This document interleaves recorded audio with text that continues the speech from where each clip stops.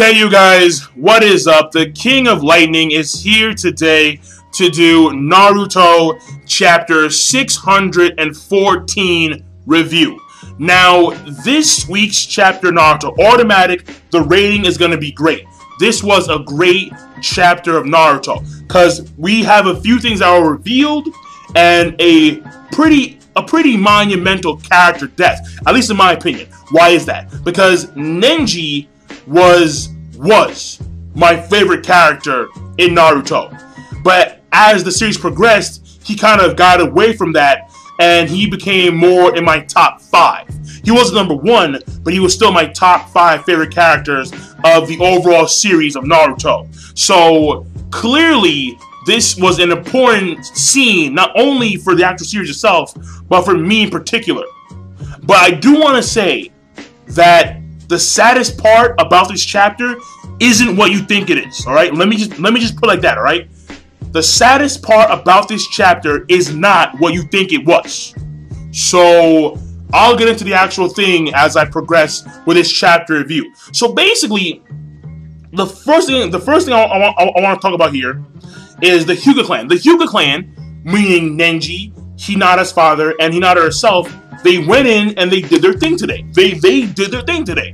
When I saw Nenji's father repeating those old Hyuga words, remember, the Hyuga are the strongest in Konoha. I'm like, yeah, yeah, I'm like, yeah. Because yo, like I I like the Hyuga clan. The Hyuga clan to me are a pretty damn cool clan. They, I love the Hyuga clan. Out of all the eye motherfuckers that exist in Naruto, in my opinion, Hyuga numero uno. Why? Because they're fucking cool as shit. They are cool as all hell. Love them. I love the Hyuga clan. Period. Now, the Hyuga clan, Neji's father did his thing, all right? When he actually blocked that giant uh, Ten Tails uh, tail, the, the, that big hand tail that was coming for a swipe and shit, and he blocked that with an with an air palm barrier, that was cool. That was really cool. I like that shit, all right? Hyuga, I mean, mm, Hyuga, I like the Hyuga clan, I really do. And you know, like they they did their thing with the with the kaiten and you know continuing the kaiten. So that was pretty cool too. So that's number one. Number two is that we have a talk. We have a talk between Obito and Madara. Okay, and this, oh, the reason why I like this talk so much is that it confirms, it confirms a fucking plot hole, a fucking plot hole that I've been saying for the fucking longest. Not only that, but it confirms that apparently, apparently, the Juubi has another transformation. It's going to transform once more. It's gonna go from a fucking Bulbasaur to a fucking Ivysaur. It's gonna start morphing and shit. It's morphing time. It's gonna morph. And that's number two. Number three is that Madara and Obito right now are losing control of the Juubi as it continues to transform. And apparently, according to Madara, in order to completely control the Juubi, you must become the you must become the Jinchuriki of the Juubi. And the only way that can actually happen is if is if Obito and Obito says the only way that can happen is if I perform the Rin Tensei and sacrifice my life so you can actually quote unquote live in real world perspective and then you become the Jinchuriki because only a living person can become a Jinchuriki, not an Edo Tensei. The reason for first of all I will say that Obito he did gain a pair of balls. Okay, fine, good, alright? Even though that does not change his standing as a villain, he is still a shitty villain. He is still the worst villain Naruto, period. That does not change shit. The thing here is that he did gain, he did grow, no, no. He grew one. He grew a single strand of pubic hair. Good for him. Good for him. Now, he said, and I quote, and I quote, in order for you to live, I need to sacrifice my life by performing the Rin Tensei. This confirms the plot. Why? Obito himself is confirming that he can perform Rinnegan maneuvers. What does that? Oh, what does that mean, kids? That means that this motherfucker should not have gotten hit in the face with a Rasengan. No! Fuck. This guy should be doing all my pushes. He's doing fucking crazy animal summonings. What the fuck ever. Okay? He should have been done that shit long ago. He himself confirmed that just because you have one Rinnegan eye doesn't mean you can't do Rinnegan shit. That's simple. This confirms plot hole. I wipe my hands clean from that shit. Why? Because the King of Lightning, no shit, is right. Enough said. Enough said. Enough said. Enough said. All right. All right. Now, after that, we see the Ten Tails perform other shit.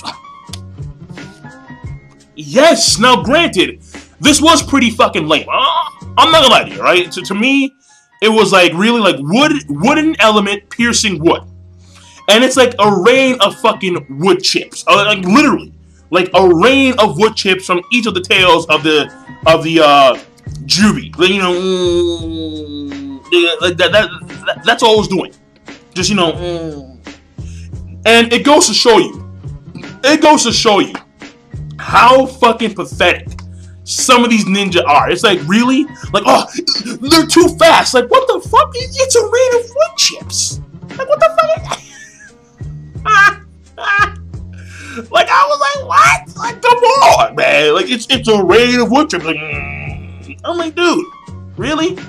And then I I find it really ironic that the first thing, the first thing, aside from from a Bijudama, the first thing this you know Ten Tails God does is some wood shit. I'm just saying. All right, I'm just saying. But after that whole entire thing with the wood and the sprays of wood, and we have the Ten Tails do like a tail swipe at Naruto and his group, and we have Neji's father do the air palm bear to actually block the tails, and then we see the actual finger target Naruto and Hinata, and we have Denji come in there and take the brunt of that attack. Alright, now see, this is where shit gets really fucking heavy, because we see Neji Naruto's like, where's the medic? You know, because because because at this point in time, what happens here is that the Earth guy from the Earth Village finally does his fucking Earth Mountain shit. So he makes so he makes his Earth Mountain, and then he actually uh he he, he actually squishes the Ten Tails in these two giant slabs of Earth. Right now, the thing here, the thing here that was really sad. Right, so we have Neji. He's on his deathbed, literally. Well, yeah, yeah, I'm going I'm going to assume that he's dead. I really am. What happens is that we have Naruto, Hinata, and they're there. And and by the way, I will say this does this does strongly, strongly like strengthen the bond between Hinata and Naruto. So for all you Naru Hina fans, fuck it, whatever. I don't care. Cause Hinata's right there. Hinata and Naruto are literally crying over Neji's body. And Sakura's where? In the fucking back. Alright, on some Jim Crow, she's in the back of the bus. So, I'm just saying. I'm just saying. But whatever. Neji, he's, you know, he's dying. He knows he's dying. So he says, no medic, I know I'm dying. And then talks to Hinata, says a few words about how he's grateful that he can protect Hinata from danger solidifying his standing as a branch member of the Hyuga clan. How he realized that he know he tells Naruto that Naruto, your you know like your life is not your own. Well, something along the lines of like you know we're here to help you, and thus you know the burden of our lives is also on your shoulders. Something along that line, where it's you know something along that line. Not really like a big monumental moment statement, but basically he's telling Naruto in a nutshell that not only do you have your life to worry about, but the lives of others. Very simple, very simple, right? And then he talks about, and then Naruto, he he's laying there, he's sitting there, and he's like, "Why would you sacrifice your life to protect me?" And then we have Nenji having his flashback about how he had that first fight with Naruto, where Nenji was all about destiny and, and how you cannot change destiny and how you cannot overcome destiny. And then Naruto's there, and Nenji says, You're a loser, and you're going to be a loser and continue being a loser for the rest of your life. And then Naruto says that one word, that one key line, like, I'm trying so hard because you called me a loser. And then Nenji, his last words to Naruto were, because I was called a genius. And then Nenji, his seal on his uh his seal on his forehead disappears. And then he says that one thing in his mind, Father, now I understand what the freedom of choosing your own death really means. And he falls down limp, assumed dead. And that right there is when the chapter ends. Now, the saddest part about this chapter is not the death of Nenji. No. The saddest part about this chapter is Nenji dying without knowing this entire time that he was right. That's the saddest part. That right there, people, is the saddest part about this entire chapter. Neji, he was talking about how you cannot fight destiny. You are chosen by destiny for specific roles. And Naruto was the example which he followed to overcome destiny. Naruto, by prophecy, by prophecy, is a chosen wonder. Naruto, being where he is today, was choice of destiny. Destiny. Not only by prophecy, but by bloodline. By bloodline. And Neji, this entire time, never gain, never gained this knowledge. The knowledge that Naruto was his chosen child. Neji, this entire time, truly believed that Naruto was, in fact, this good, the hero of the uh, the hero of Konoha, a sage master, master of the Kyuubi, and you know this powerful, outstanding ninja by hard work and effort alone.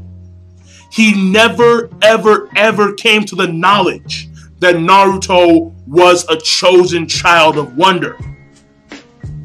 He never knew that what he said back in the day, he never knew that he was right.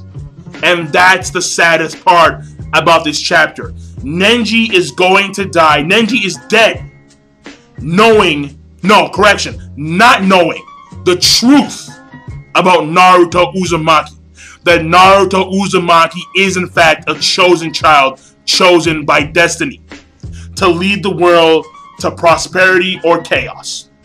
And that is the saddest part about this chapter. Right there. Right there. Right there. So I'm done. I'm done. I'm done. I'm done. I'm done. Uh, the rating's gonna be great. It was, it was a great chapter, Naruto sad, touching. Uh, things revealed here about you know the Ten Tails transformations, and hopefully this forces Naruto to consider his standing about being you know about leading the world into everlasting peace and prosperity. All right. Hopefully this change. Hopefully this death on his shoulders leads Naruto to become a little more realistic in his thinking. I doubt it, but you know because right here is the first time someone has ever died on Naruto's shoulders. Actually died from Naruto. So now he has that weight. He has that weight on his shoulders. That that that very significant death. So, but we'll see. We'll see. So I'm done. King Lightning. Be sure to, of course, rate, comment, and subscribe as always. And I'm signing out. Peace. Have a nice day.